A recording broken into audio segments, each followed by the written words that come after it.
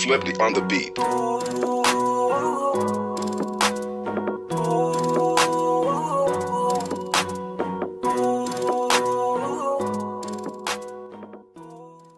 Hi, good day. So, this video naman is part 2 of week 2. Ang part 1 natin is uh, factoring perfect square trinomials. Andyan po sa description box ang link. And this would be part 2 uh, wherein we're going to tackle about uh, general trinomials.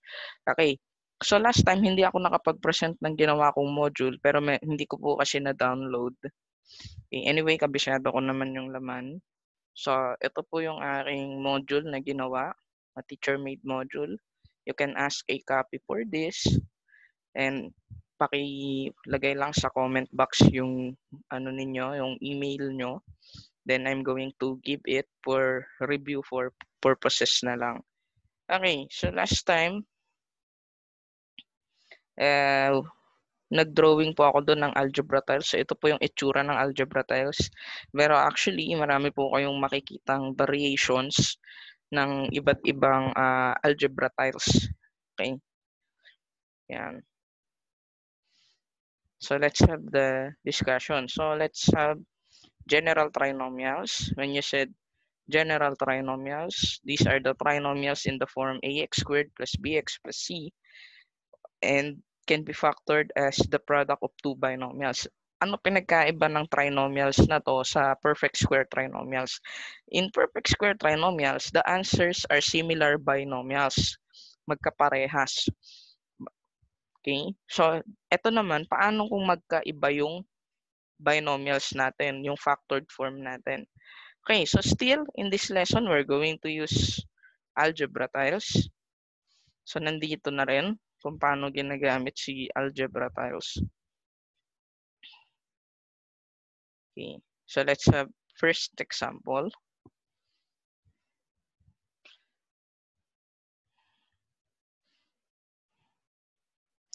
Wait lang. So, the first example will be x squared plus 4x plus 3. Okay. Let's have the first example.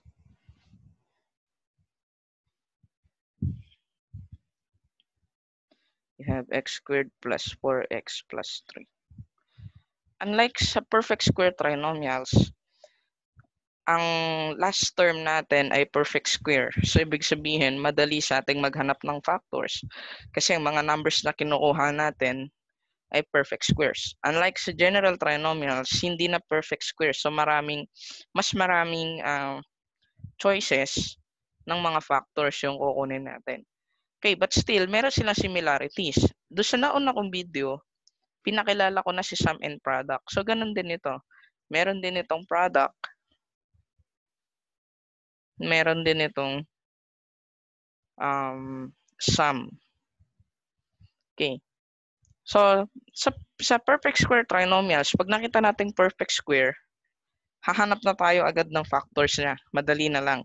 Unlike ito si product, marami tayong choices. Halimbawa, ito yung factor mo. Ano yung factor natin? Ah, product natin, sorry. Product natin ay positive 3. Ito yung mga possible factors. Possible factors. So what are the possible factors? So ang sum natin dapat ay positive 4. So possible factors are negative 3, negative 1, positive 3, positive 1, negative 3, positive 1, and 3, negative 1. Okay, so meron tayo kaagad apat na possible answers. Pero, malilimit ang choices, malilimit ang choices pag nag-compare na tayo sa sum. Kaya lang, syempre, sa mga bata natin na grade 8, bago sa kanila yan. May hirapan sila na i-consider kaagad yung, ano, yung sum. Okay. So, dito ang gagawin natin after that, you're going to add. I-add natin yan lahat. So, pag in-add natin, negative 3 plus negative 1, meron ka ditong negative 4. This is equals negative 4. Ito naman, this would be positive 4. Ito naman, negative 3 plus positive 1 we're going to add negative 3 plus positive 1, that would be negative 2. If you add 3 plus negative 1, that would be positive 2. So, the sum that we get are negative 4, positive 4, negative 2, positive 2. So here, so yung tugma lang dito na product ay positive 3, and sum is positive 4 is the factors 3 and 1. So here you have 3 times 1. So factor natin x multiplied by x then pair so you have now x plus 3 times x plus 1 okay so this our this this is our binomials So as you can see in our final answer, in our final answer, the binomials, we have two different binomials. Unlike in perfect square trinomials, we have similar, we have two similar binomials. Yan. Okay. So ito medyo madali-dali pa. Yan. Okay, common mistake ng mga bata, nahihirapan sila kasi ano, nakakalimutan nilang i-consider yung sum. Okay. So, I remember when I teaching this uh, topic, gumawa ako ng table. Meron akong product, sign table. Tapos, meron akong factors. Tapos, meron ako ritong sum. Yan. Gawa lang ako sign table. Hindi siya kasha. I think we have to get a new board. Yan.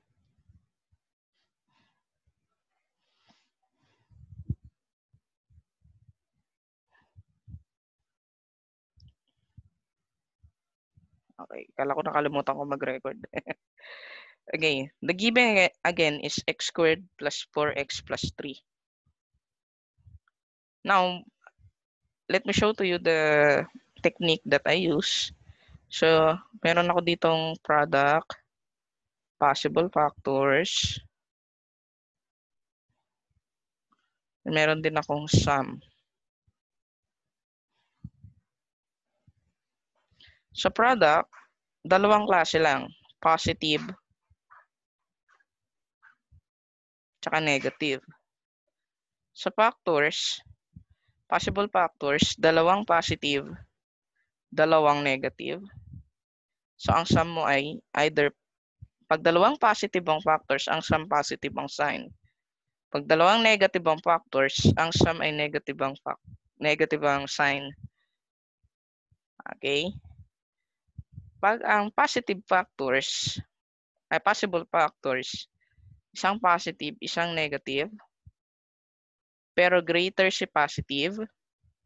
Pag greater si positive, yan. Lagyan ko ng sign na greater. Ang sum natin ay positive. Pag si negative naman ng greater, si sum, uh, pag ang, yan. Pag si negative ang greater, ang sum natin ay negative. So in this case, product is positive. So, check na. Dito ka na agad. Wag, no need to check for negative product. Kasi ang product mo, positive. Ang sum mo ay positive. So, dito. So, meaning to say positive, sum is positive. So, your factors are both positive. Yan. Sige, gawin natin mamaya. Kaya, knowing this table, ano, knowing this sign, knowing this uh, sign table, hindi ka na magta-try ng negative 3 times positive 1, positive 3 times negative 1. Kundi doon ka na agad. makikita mo na kaagad na, uy, factors of 3 is, factors ng 3 na magbibigay ng sum ng 4 is 3 times 1. So, ganyan lang siya kasimple pag ginawa natin. Okay. So, let's have a second example. Oops, wait lang. Meron pala tayong algebra tiles. Okay. Let's have the second approach. Second approach muna tayo. Okay, how about by algebra tiles?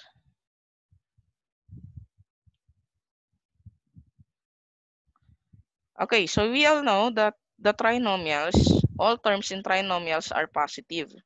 So meaning to say, I'm going to use the green tiles. Ano ba ang instruction dito sa module ko?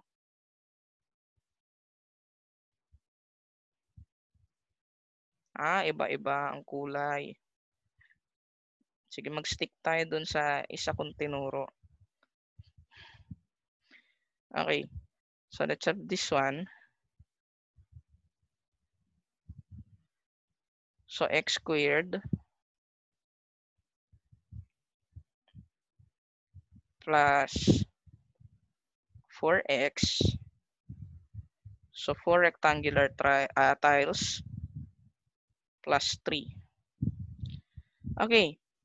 Kung si perfect square trinomial, ang, ang goal natin, yung mga tiles ay i-arrange into a perfect square. Ito naman, dapat ang goal natin, pag inayos natin sila, sila dapat ay maging rectangle. Okay. So, i-arrange natin. Now, again, pag ito ay pinagawa ninyo sa bata, iisipin nila talaga kung ano ang itsura ng mga tiles na yan pag pinagsama-sama at nag magiging rectangle. Okay. Sige, so arrange natin. Dapat ang itsura niya ay rectangle. So, syempre dito yung malaking tiles. So, again, ang dimensions nito ay x by x, 1 by x, and this would be 1 by 1. Kasi this would be 4x plus 3. Okay. So, dahil tatlo lang ang tiles natin, tatlo yung maliit nating tiles. So, ang possible na pwesto, rectangle. Tatlo. Tapos, andito yung isang mahabang rectangle. Then, andito yung square tiles. Yan. So kung mapapansin nyo, rectangle talaga siya, hindi siya square. Okay. So check natin ang dimensions. Check natin ang dimensions. So ang dimensions nito ay x. Dahil itong lahat ay 1, 1, 1, 1, meron ka lang ditong isa, dalawa, tatlo. So you have x plus 3. Ito naman, you have here x. Then you have here 1, isa. So x plus 1. So therefore, the dimensions of this uh, rectangular tiles, yung nabuo natin, is x plus 3 by x plus 1. So there are many ways to learn this topic. So hindi lang sa topic hindi lang sa strategy na kasalalay ang pagkatuto, kundi nasa mga bata rin mismo. No matter gaano kaganda ang presentation, kung si bata pagdating sa bahay, pagdating sa school, tamad siya, hindi siya nag-aaral, hindi hindi niya to ma-absorb. Okay. So we need to encourage our children, our students na ano, uh, aralin nila. Yan. Pero actually, pagka ganito na manipulatives ang gamit natin sa pagtuturo in my personal experience, hindi ako masyadong napapagod. Kasi minsan, binibigay ko lang ang instruction, nakakapagbigay na sila ng answer. Yun. Yun siguro ang kagandahan kapag si bata, hawak niya mismo yung mga gamit. Okay. And another modifications I use, I try to give the instruction in mother tongue. Oo, I try to give the instructions in mother tongue kasi minsan pagka naka-English siya, iniwan ko, hindi nang gagawa. Hindi nagagawa yung pinagagawa ko kasi hindi nila maintindihan. So, after I write the instruction in English, I write it also in Filipino. Yan pa may translation kunwari. Ayan. Okay. So, those, those are just a little adjustments na magagawa natin sa ating mga bata. Yan. Okay. So, nakita nyo yung dalawang strategy na ginawa natin. Okay? So, siguro kung naghahabol kayo sa oras sa pagtuturo, pwede nyo nang gamitin agad yung sign table sa bata. Pero kasi, ang ginawa ko po, when I was teaching, dalawang, ta- dalawang araw ko na siyang tinuturo. So, nangungunot na yung noon nila sa kaka-absorb ng tinuturo ko. The last day, the last day, sabi ko sa kanila, alam nyo ba mayroong pinakamadaling solution dyan para hindi hindi na kayo mag-isip ng factors. Tsaka ako ngayon pinresent si sign table, yung pinakita ko kanina. Tapos yun, sabi, ma'am, ba't ngayon mo lang tinuro yan? Hindi mo na tinuro sa umpisa. bad ba ako nun? Hindi naman, no? Hindi man ako siguro bad na last ko na tinuro. And anyway, wala, trip ko lang gawin yon sa kanila minsan. Kasi minsan, pag binigay mo yung pinakamadaling paraan, wala na ano kung the rest ng talk mo hindi na sila makikinig kasi alam na nila. Yan. Pero pag nahihirapan sila kung minsan no mm, they they will try to figure out and figure out and figure out how paano nangyari paano paano yan okay so masaya din minsan na ano na pigain natin yung brain cells ng mga bata natin Okay, so number 2, you have x squared minus 6x plus 8. Okay, pag nagbigay tayo ng examples, madali lang muna. Madali lang muna, syempre. Yung kaya ng algebra tiles muna. Tapos, sa, uh, pagdating sa ano, sa pinakamahirap na paraan, okay class, paano kung malaki na yung number? Hindi na kaya ng algebra tiles.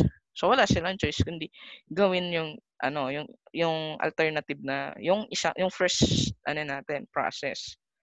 Okay, number two. You have x squared minus 6x plus 8. Okay. So gamitin na natin yung ano, yung table. You have here the product, possible factors, and sum. Tignan natin kung paano natin gamitin. So, your product, sorry, nagmamadali na naman. So, our product is positive 8. Possible factors are positive 4, positive 2, negative 4, negative 2. Okay. Ma'am, meron pang 8 and 1. But obviously, 8 and 1, o sige, lagay natin dito, negative 8, negative 1, positive 8, positive 1. Okay, so ang sum natin dito ay negative 6. So sa table natin, ang nakalagay dito positive. Dito Tama, positive, negative. Ito. Wait lang.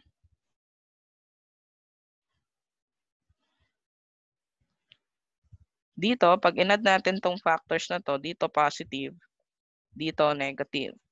So 4 plus positive 2, you have 6. Negative 4 plus negative 2, you have negative 6. Yung isa naman, negative ang product, pag ang greater ay pag ang greater ay positive factors, ang sum ay positive. Pag ang greater naman ay negative factors, ang sum natin ay negative. But definitely, ang product natin ay positive 8. No need for you to look for the negative product. You're just focus on the positive product na table. Okay. So nilagay, nilagay ko lang dito yung 8 and 1 kasi possible ding mapili ng bata. So dito pagka inad mo to, this would be negative 9 and this would be positive 9. So definitely hindi hindi siya yung factors. Okay. So, the sum is negative 6. Ang kukunin natin ngayon ay this one. So, ang factor mo ngayon ay negative 4 times negative 2. Okay.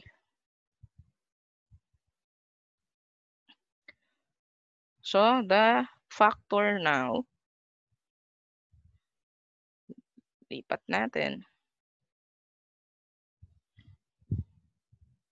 So, the factor now will be, so let's have x squared minus 6x plus 8.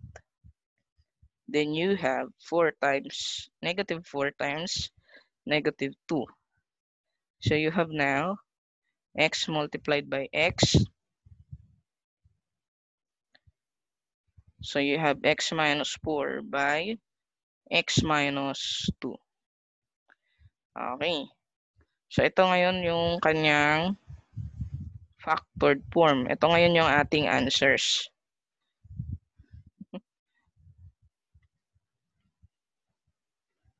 Dito nga natin. Yon.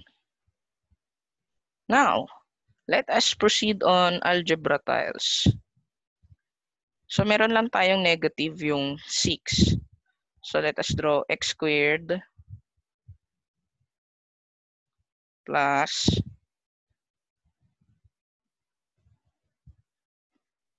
negative 6x. So, there are 6 rectangular tiles. 1, 2, 3, 4, 5, and 6. So, x squared minus 6x, then positive 8. So, you have 8 square uh, tiles. So, 1, 2, 3, 4, 5, 6, 7, 8.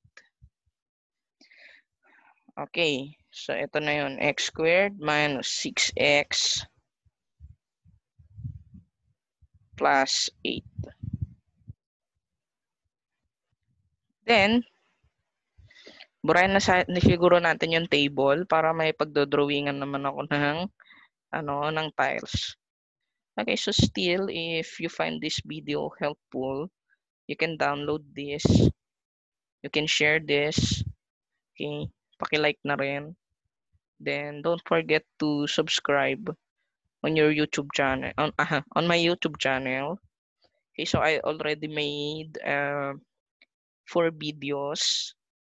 Actually sa competencies natin, isang week marami siyang tinamaang topic.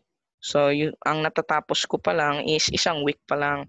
So hopefully matapos ko ngayong linggo yung uh, natitirang mga weeks na gawa ng video. Actually lahat ng buong lesson ng grade 8, I'm planning to make a video for it. And para pagdating sa ano, sa normal setting, kung meron man akong remedial classes, manunood na lang sila, then mag-a-answer. Okay? O kaya naman, unfortunately, kung halimbawang absent ako, iiwan ko lang sa kanila yung sa magsasab yung flash drive, papanood na lang, ipi-play na lang sa classroom yung video ko. Yan. Okay, so these are the advantages of making such efforts. Okay, sige, so let us arrange the tiles into rectangular form. So you have here x squared.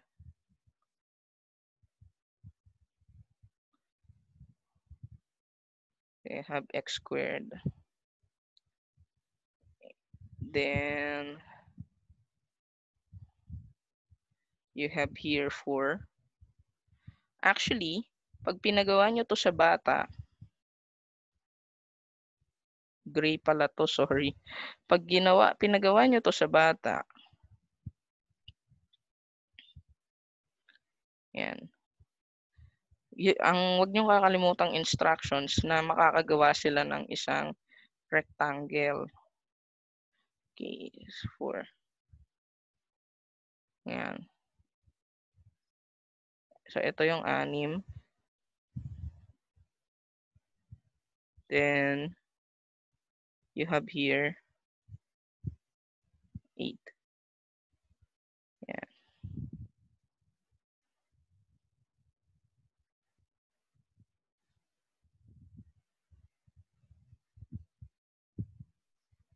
Okay.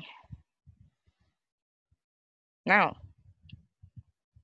let us get the dimensions. So let us get the dimensions. So here we all know that the dimension of this one is x. Then this would be 1, negative 1, negative 2. So itong isang square tiles natin, ito ay negative 1, this one. So negative 1, negative 2, negative 3, and negative 4. So minus 4. Kasi apat yung rectangular tiles dito. Then dimensions here is x. Then you have here another 2. So x minus 2. So the dimensions are x minus 4 times x minus 2. Okay. So, marami tayong, uh, yung mga bata natin, baka meron pa silang ibang answers kesa sa answers natin. Kasi na-experience ko when I was in ano in teaching, hindi lang ito yung possible examples nila. May mga times na may mga times na si x squared, itong si x squared nakagitna siya. Hindi katulad ng mga examples ko nakagilid. May mga times sa classroom, ang sagot ng bata nakagitna, pero tama ang dimensions. In, uh, siguro itong mga rectangle na to nakapaligid kasi, wait lang. Turo ko lang yung naalala ko ah. Yan. Halimbawa, ito si x squared. Okay. May mga times ganyan ng arrangement nila. Okay. May mga times na ganyan. Tapos, meron dyan mga square tiles. Pero, if you check if you check the edge, if you check the sides, tama naman kamukha ng ano ng ng sagot natin. Okay. So kung may mga ganong answers ang bata, i-consider natin. Ibig sabihin, yung isip nila nag-work logically. Yan. Okay, so ang galing nila, no? Galing ng mga bata natin. Okay. So, if you have questions on this part, Okay, meron merong merong pwedeng maging concern dito. Kapag ba nilalatag yung mga tiles, kailangan uh, ano, ilalatag lang siya. Okay, so uh, meron akong tips. Mas maganda bago nyo ituro yung tiles, ituro nyo muna yung ano, yung procedure number one. Okay? Kasi yun ang magiging checking nyo pag ginawa nyo yung tiles. Yan. Kasi minsan si tiles, ako sa experience ko, si yung algebra tiles, nung una ko siyang tinuro, nagtagal kami kasi maraming iba't ibang sagot yung bata pero hindi yon ang lumalabas na dimensions. Halimbawa, itong number 2. Itong number 2, x squared minus 6x plus 8. Ang arrangement ng iba kong mga bata, ito. Ganyan. Halimbawa, x squared. Wala, itatabi lang. Basta mai-ano lang nila, magawa lang nilang rectangle. Yan. Ganyan na yung answers nila. 1, 2, 3, 4, 5, 6. Tapos, ganyan. So, sa kanila, para sa kanila, answers na yon rectangle na yon Okay. Yan. So, ito yung isa sa mga common mistakes ng mga bata. Kaya ang advice ko, mas maganda ituro natin yung ano, logical na yung yung isa sa yung naunang tinuro ko bago natin ibigay yung ano, uh, manipulatives. Kasi maraming halimbawa, pina-arrange mo rectangle, maraming klase ng rectangle na nasa isip nila. Pero kapag naituro mo yung numbers, pag naituro mo na yung ano, yung pagkuha ng dimensions through factors, pag ginawa mo yung sa tiles, ang magiging instruction mo, okay, see to it, see to it na kapag ginawa ninyong inarrange nyo to sa rectangle, ang makukuha nyong dimensions kamukha ng nauna nating answers. Yan. Okay. So magkakaroon ngayon ng comparisons. Yan. ah, kapag pala algebra tiles, gilid ang kukunin mo. Pag kinuha natin siya through factors, itatry mo yung mga factors. Yan. So, at the end, magmi-meet doon. Bakit nyo ginagawa yung algebra tiles? Kasi sa dulo, pagdating sa dulo, sa problem solving, pakukuhain nyo nga sila ng dimensions ng uh, dimensions ng wall, dimensions ng fence, ng farm, okay, any uh, rectangular na ano na object. Okay. Yan. So, yun lang naman. A little bit of advice. Mas maganda na ituro natin yung factoring through factors, uh, through pagkuha ng factors dun sa last term. Tsaka natin isusunod yung algebra tiles para makita yung relations. Okay. So, let's have the third one. I think meron pa akong pangatlong examples.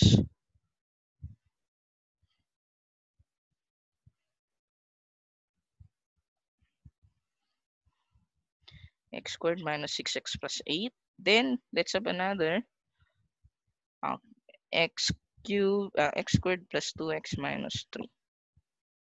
x squared plus 2x minus 3.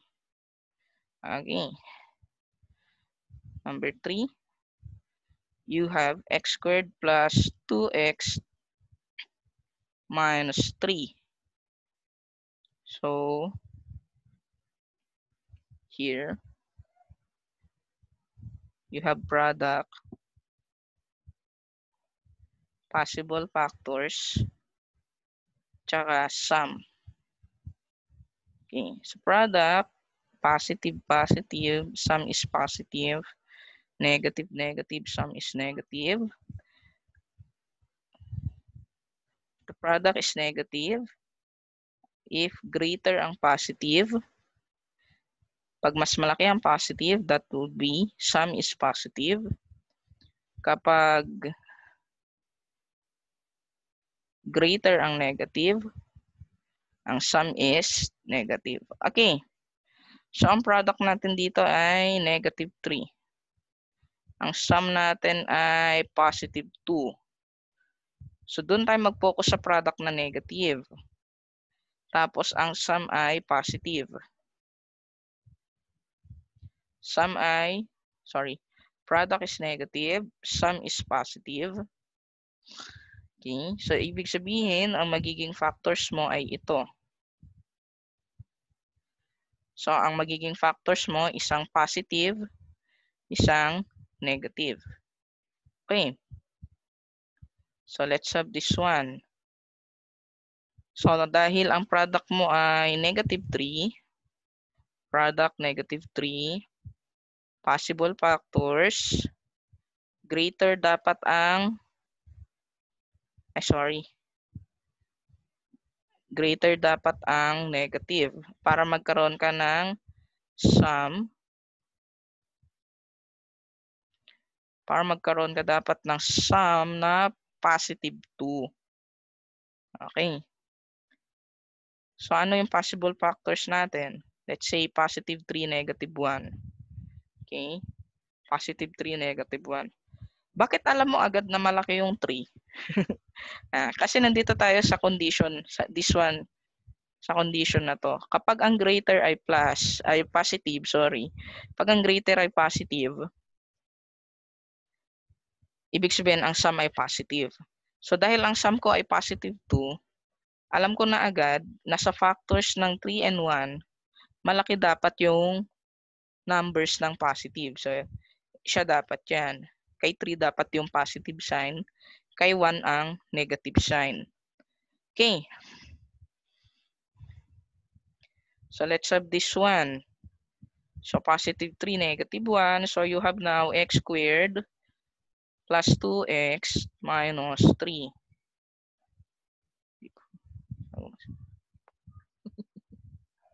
So, x times x. Yan. So you have now x plus 3 by x minus 1.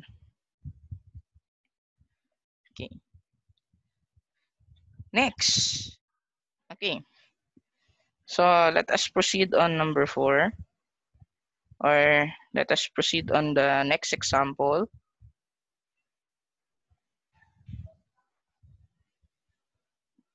Okay, so another example.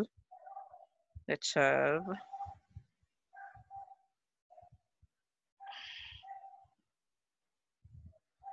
Let's have 2x squared plus 9x plus 7.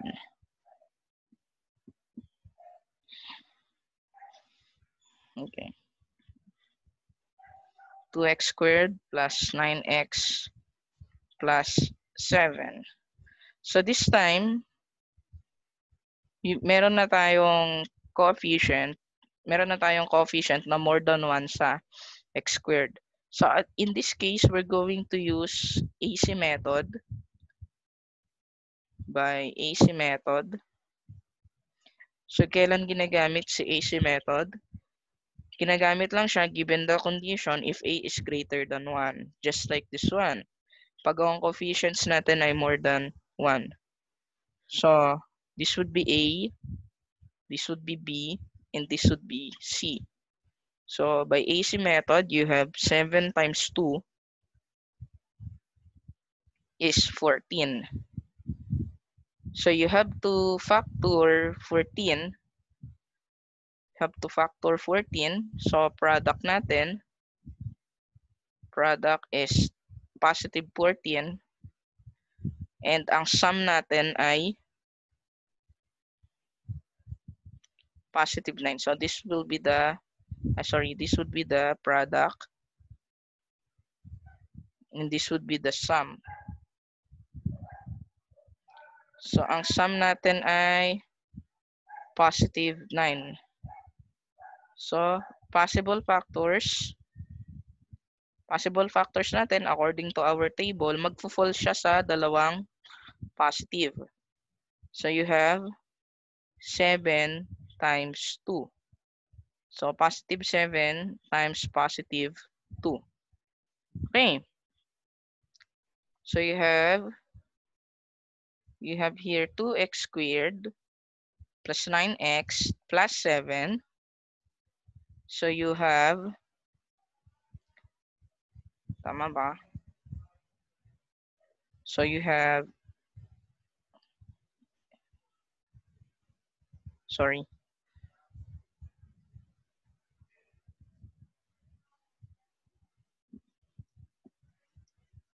So ano pala gagawin natin sa factors ng sa factors ng ng given natin. So 7 times 2. So you all know that the product now the product now is 14. So 7 and 2 which has the sum which has the sum of 9. Okay, so ano ang next step next step natin? So the next step is we're going to divide this. We're going to divide this by A. So next step, divide by A. So ang A natin, ang A natin ay 2. So A is equals to 2. So you divide by 2, you divide by 2. So your factors now will be 7 over 2 and 1. So you have now x plus 7 over 2 and x plus 1. Okay, so let us simplify. So simplify natin. So simplify natin yan. You have now 2x. So simplify natin. Simplify natin ito. So you have 2x plus 7 multiplied by x plus 1. Okay. So ito naman, mag imagine ka lang dito ng over 1. Meron ka ditong over 1, cross multiply. So you have 2x tsaka 7. Okay, how how are we going to know kung tama yung answers natin? Sorry. Paano natin malalaman kung tama yung sagot natin? So you have 2x plus 7 times x plus 1. So you have now 7x. Then this would be 2x. So if we're going to add, the sum is 9x. So still correct. Okay. So let us do it in algebra tiles.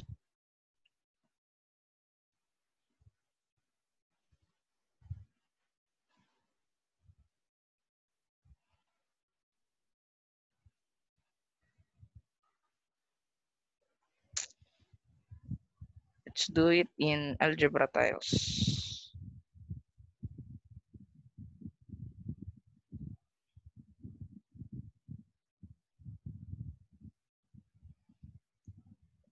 So the given again is 2x squared plus 9x plus 7.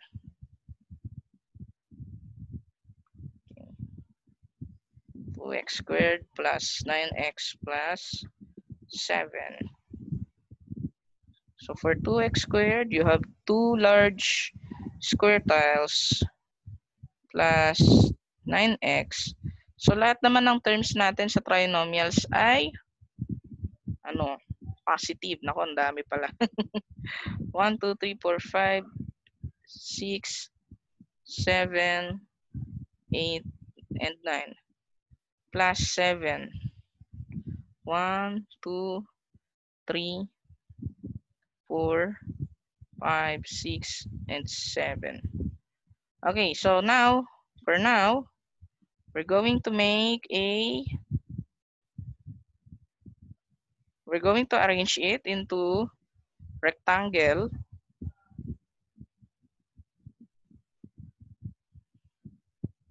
arrange natin into rectangle. So, ang nakuha natin, 2x plus 7 and uh, x plus 1. So, you have two rectangles. Actually, kapag ganito naka-complicated ang ano, ang uh, ganito na siya ka-complicated yung ating examples, hayaan natin yung mga bata ang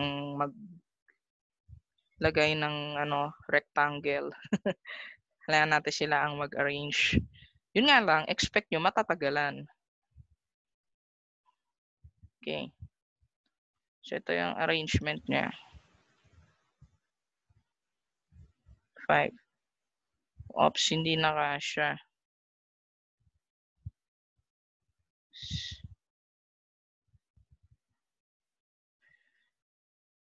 ano to?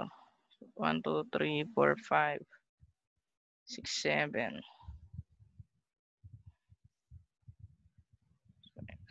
7.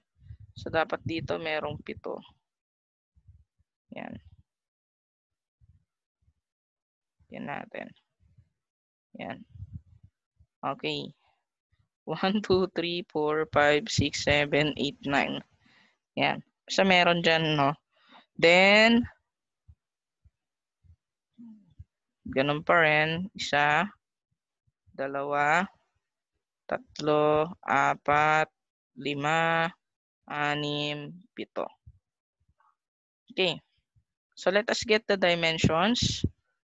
You have here x and x. So you have now 2x, then 1, 2, 3, 4, 5, 6, 7. So this is 2x plus 7. Then you have here x plus 1. So that is the dimension 2x plus 7 times x plus 1. Okay. So question so far.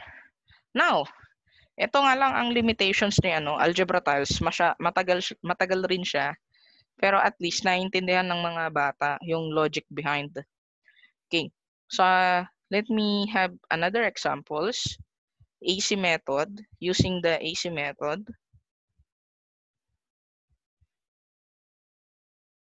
Okay. 3x squared plus 14x plus 8. Let's have this one. 3x squared plus 14x plus 8. Okay. So using AC method, this would be your A, your B, and your C. So in AC method, you have 8 multiplied by 3. So you have 24. So 24 now will be your product.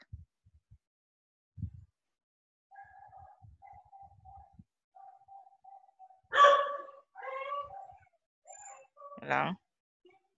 So 24 will be your product.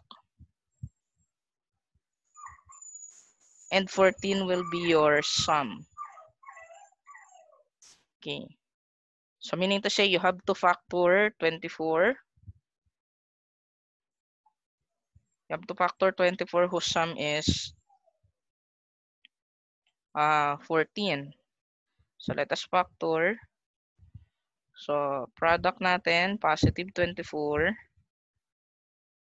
Possible factors. Ang sum natin ay positive 14. So meaning to say, ang itatry na lang natin ay mga positive numbers dahil ang sum mo ay 14. So possible factors, you have 8 and 3, positive 12 and 2. You have positive 6 and positive 4. And we get the sum. You have here 11, you have here 14, and you have here 10. So the factors that meet the sum 14 or has a total of 14 is 12 by 2. Yan. So 24 factors are 12 times 2. If you get the sum, if you're going to get the sum that is 14, the next step Ibig sabihin, tama na tong answers natin. Emphasize lang natin. This is the product. And this is your sum. So, next step, divide by, divide by 3. Divide by A. Okay. Or by A. Ano bang value ng A natin? That is 3. So, let's divide by 3. Divide by 3. So, you have now 12 divided by 3, you have 4, and you have 2 thirds. So, the answer is x plus 4 by x plus 2 thirds. Let us simplify 2 thirds. So, itong x natin, may over 1 dito. Then get the simplified uh, answer. So you have x plus 4 times 3x plus 2. Okay. So therefore, our factored form is x plus 4 times 3x plus 2. Okay. So meron lang kaibahan si ano, si AC method dun sa mga naunang examples natin. Si AC method nababago yung product kasi nagmultiply tayo ng A. Pero uh, mawawala yung A pagka dinivide mo na siya dun sa factors na nakuha mo. Okay, so yung nagkakaroon lang ng modifications sa ano sa product but still they have the same answer. Okay, so let us verify let us see. Let's verify if our, our answers are correct.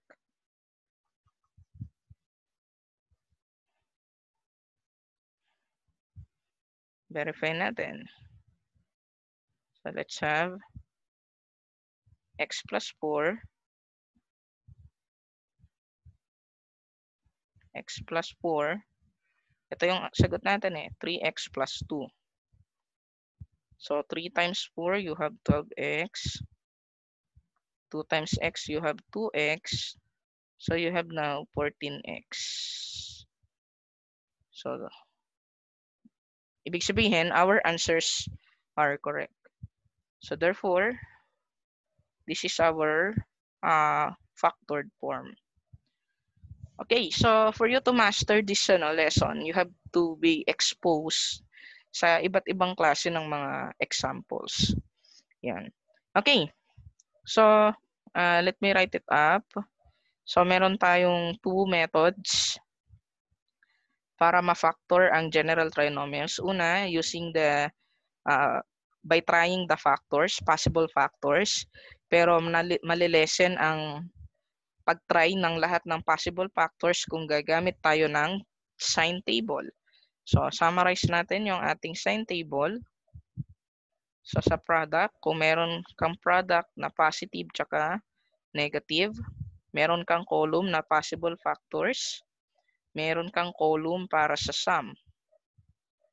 Okay. Pag ang possible, pag ang product natin ay positive, ibig sabihin, pwedeng ang factors dalawang positive, dalawang negative. So, ang sum ng dalawang positive factors ay positive, ang sum ng dalawang negative factors ay negative. Kapag negative naman ang product, kung consider mo ang given na greater. Kapag ang factors pag ang factor na positive ay greater, ang sum natin ay positive. Okay. Pag ang factors natin na negative ay greater, ang sum natin ay negative. Okay. Sige, question.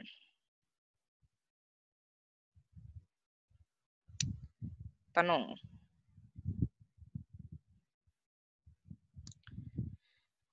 Okay. So, if you don't have uh, any questions, I sorry, if you have questions, you can you can write it on the comment section. Okay, so I hope you learn well, you learn more. And if you have techniques or other ano, uh, strategies in solving, feel free to share. Yan. Okay. Okay, bye-bye.